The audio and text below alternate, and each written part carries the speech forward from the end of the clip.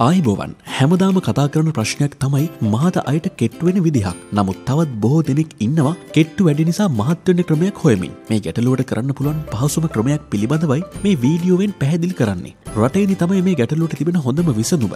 රටේනි වලින් ශරිරය මහත් කරන වගේම ශරිරය පෘෂ්ණිමත් කරනවා. රටේනි කියන් ඉතා ඉක්මනින් අපේ කුස පුරවන ආහාර වර්ගවලින් ප්‍රධානදම වූ එකක්. ඒ වගේම ශරිරයට අවශ්‍ය ශක්තිය ලබාගන්න පුළුවන් කදිම ආහාරයක්. අධික ලෙස වෙහෙසෙන අයකුට දිනපතා රටේදි ආ ආහාරට එක්කර ගැනීමෙන් ශරීරයට අවශ්‍ය ශක්තිය ලබාගන්න පුළුවන්. ඒක තමයි මෙහි තියෙන විශේෂිතම ගුණය. ඒ වගේම රටේදිවල තිබෙන තන්තුමේ ස්වභාවය නිසා පහසුවෙන් මලදරුව පිටකිරීමේ හැකියාව තිබෙනවා. මලබද්ධය වගේ රෝග සුව කිරීමට රටේද යොදාගන්නවා ආහාර දිරවීමේ අපහසුතා ඇතියට එය පහසු කරන්නත්. ආහාර මාර්ගය ආශ්‍රිත අනෙකුත් බොහොමයක් රෝග තත්ත්වයන් මගහැරීමේ හැකියාවත් රටහිදිවලට පවතිනවා. ශරීරයේ බර අඩු හා කෙට්ටු අයට මහත්වෙන්න තියෙන පහසුම මාර්ගයක් තමයි රට ඉදි කියන්නේ. දිනකට රටේදිකට අටක් දහයත් ආහාරයට ගන්න එක තමයි ඔයාට කරන්න තියෙන්නේ. රටේදි ආහාරයට පෙර ඇට ඉවත් කර රෑක් වතුරේ දමා තියෙනට හැර පසුවදා ආහාරයට ගන්න. එහෙමුණොත් ප්‍රතිඵල වඩාත් සාර්ථකයි. ඒ වගේම ඇට ඉවත් කරගත් රටේදි තුළට බටර් එකතු කර දිනකට ගෙඩි හතර බැගින් ආහාරයට ගන්න. ඔයාට බටර් වෙනුවට